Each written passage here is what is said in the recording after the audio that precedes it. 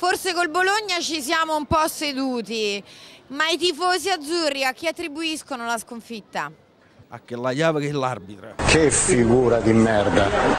Purtroppo non possiamo dare colpa a nessuno. La squadra che non ha giocato con i livelli non abbiamo giocato le altre partite. Noi tifiamo Napoli, Siamo tifosi del Napoli, siamo fiduciosi, vai tranquillo che Napoli rimonterà tutto sicuramente. Un pochettino i due difensori, Koulibaly e Britos, sono, sono proprio addormentati. Del Napoli. Qualche errore insomma individuale. Praticamente non ha, non ha giocato come eh, normalmente gioca. A che la chiave che è l'arbitra. Secondo me il Napoli ha avuto anche un po' un calo fisico. Noi tifiamo Napoli, Penso alla stanchezza dei giocatori. Potrebbe essere anche un, un calo fisico, ormai il Napoli vinceva sempre, vinceva sempre. A squadra, sarà ammolito una poco. Forza Napoli! Ho visto il centrocampo proprio che eh, Amasic e Alan non ce la facevano. Secondo me è proprio un'impreparazione tecnica di fondo della squadra. Forza Napoli! E diciamo la formazione è pure per i giocatori che non hanno giocato bene.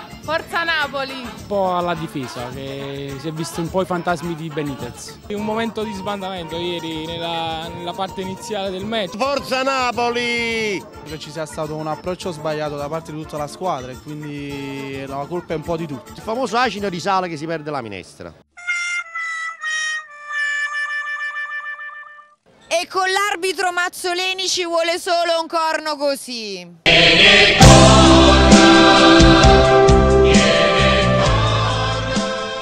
Come ho sentito che l'arbitro era Mazzolini ho detto è una giornata storta. L'arbitro diciamo colpisce ancora.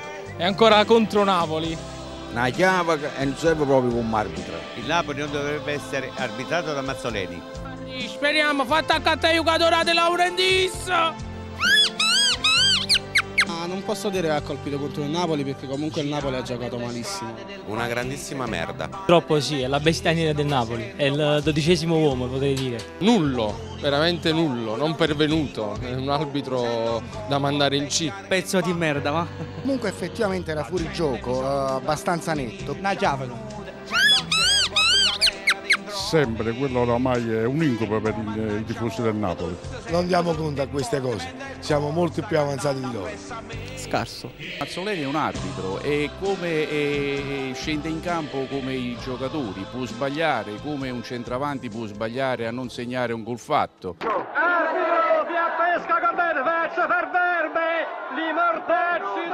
Lo facciamo mangiare il limone ai tifosi della Roma?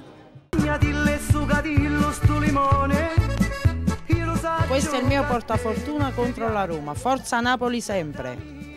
Mamma vincere la Roma, mamma vince sicuramente, sicuramente, sicuramente. Sarà un partitone. Può essere obbligati a vincere pure perché la Roma non sta vedendo un bel momento. Io penso ci sarà un grande riscatto di Napoli perché il Napoli non, non ha sbagliato mai più di una partita. Spero che vinca il Napoli comunque. Secondo me a Roma non sta proprio all'altezza di seguire un campionato. Che forse noi quello che possiamo temere un poco è la Juve che si può riprendere. 3-0 sicco, vai. Higuain, Higuain e Insigne.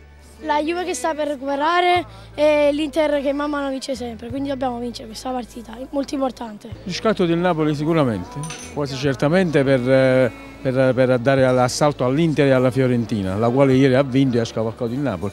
E dobbiamo cercare di fare meglio con le piccole squadre. Io penso che il Napoli domenica batterà la Roma, ba- batterà la Roma, sì. Cambierà qualche centrocampista che starà un po' più diciamo fresco, possiamo anche vincere. I ragazzi sono tanto motivati, quindi penso proprio di sì. Eh, capita giusto a pennello, c'è voglia di riscatto. E... Noi da tifosi ci crediamo. Speriamo che la partita prossima va meglio per noi.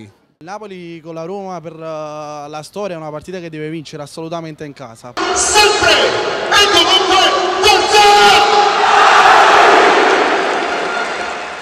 Mancano ancora tante partite e la corsa verso lo scudetto non si è di certo fermata. Alla prossima puntata. Ciao!